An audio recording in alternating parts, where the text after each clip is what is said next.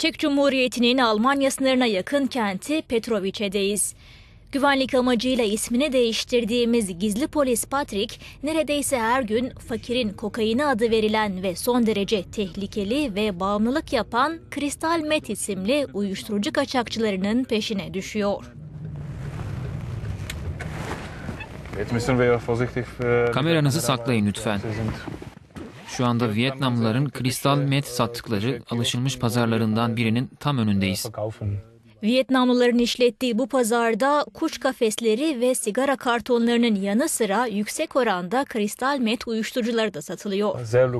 Äh, Vietnamlılar için çok kazançlı bir 35, pazar çünkü gramını äh, 8 gegen euroya 8 üretiyor ve 25-30 euroya satıyorlar. An diesen Kiosken ist zwischen 25 bis 30 Euro. Bize bu görüntüleri ulaştıran polis burada işlerin oldukça yolunda gittiğini belirterek Çek Cumhuriyeti'nden her yıl Avrupa pazarında satılmak üzere 12 ton kristal met uyuşturucunun gönderildiğini söylüyor. Sınırı geçerek Almanya'nın Bayreuth kentine doğru ilerliyoruz. İsimlerini vermediğimiz bu uyuşturucu grubunda gençlerin büyük bir çoğunluğu kristal bağımlılıklarından dolayı burada. İlk kez bu grupta yer alan kırmızı tişörtlü Johannes'le birlikteyiz. Sen burada yeni misin? Hoş geldin. Hediyeni almak ister misin? Ein tragbarer Defibrillator, das trage ich an die Weste O benim defibrilatörüm. Ceketimin altında saklıyorum. Kalbim durduğunda bana bir şok etkisi gönderiyor. Dikkate almadığım bir enfeksiyondan kaynaklandı. Zira çok aşırı hasta olduğunuzda bir nefes çektiğiniz zaman kendinizi çok zinde hissediyorsunuz. Bırakmak çok zor. Benim örneğin radikal bir kararla bırakmam gerekiyor. Çünkü arkadaşlarımdan biri bana teklif ettiğinde hiç düşünmeden hemen kabul ediyorum.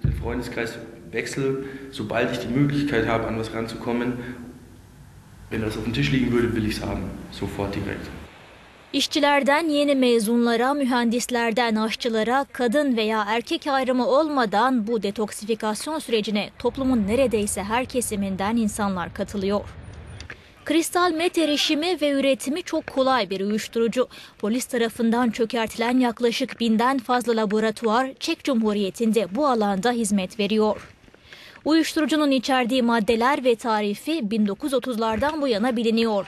Naziler tarafından yaygınlaşan bu uyuşturucunun cephedeki askerlere kaşelerle dağıtıldığı biliniyor. Uyuşturucunun çok güçlü türevlerinden biri olan kristal met, kendinden önceki uyuşturucu maddelere göre 10-20 kat daha fazla amfetamin içeriyor. Bu maddenin tüketiciyi günlerce ayık tutabilme özelliği 20 yaşındaki Willy'yi en çok etkileyen özelliklerden biri olmuş. Willy şu anda rehabilitasyon aşamasında ve bu tehlikeli uyuşturucu maddeyi elektricide çıraklık yaparken kullanmaya başlamış. Ich fühlte mich leistungsfähig, auch meine Probleme. İş yerinde oldukça etkili bir elemandım ve sorunlarım gün geçtikçe azalıyordu. Ancak bu kristal uyuşturucuyu tek seferlik çekebilmem için uzun bir alana ihtiyacım oluyordu.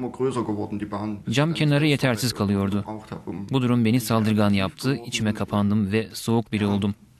Ölümün çok yakınından geçtim. Pek de hoş bir tecrübe değildi açıkçası. Willy Doktor Joseph tarafından takip ediliyor. Doktor Joseph Almanya'da kristal met uyuşturucusunun yaygınlaştığının ilk farkına varanlardan. Kristal metin günümüz şartlarına, toplumuna ve yaşam şartlarına uyduğunu ifade ediyor. Bu yaşam tarzımıza uyan bir uyuşturucu madde. Tüm hafta boyunca montaj hatları üzerinde çalışan çok sayıda işçi hastam var. Cuma akşamı evlerine döndüklerinde aileleri veya arkadaşlarıyla eğlenmek istiyorlar. Kısır bir döngü içerisine giriyorlar. Vücudun direnci bitene kadar bu madde çok uzun bir zamana yayılabiliyor.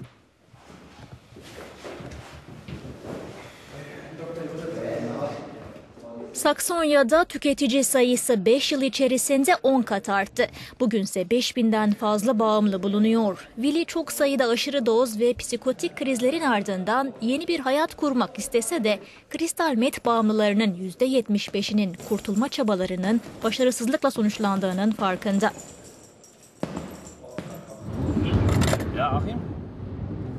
Çek sınırında her gün kontrollerde bulunan Alman gümrük görevlilerine göre bu madde coğrafi açıdan gün geçtikçe genişliyor. Eski oranla daha az madde ele geçiriyoruz. Ama daha büyük miktarlarda yakalıyoruz. Yaptığımız kontrollere rağmen piyasadaki maddelerin çok küçük bir oranına ulaşabiliyoruz. Alman yetkililer uzun yıllar boyunca soruna çare arasa da Çek laboratuvarlarında üretilen kristal met büyük bir hızla Belçika, Hollanda ve İngiltere'ye ihraç edilmeye devam ediyor.